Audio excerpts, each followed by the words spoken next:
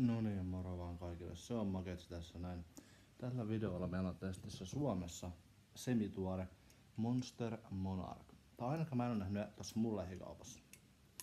Katsotaan, onko tää mistään kotos. Haju on helvetin hyvä. Annetaan 4 kautta 5. Väri on tommonen mangon värinen, kusenkeltainen, mutta se on jotain jauhoa seas maistetaan. Vitu hyvä monsteri.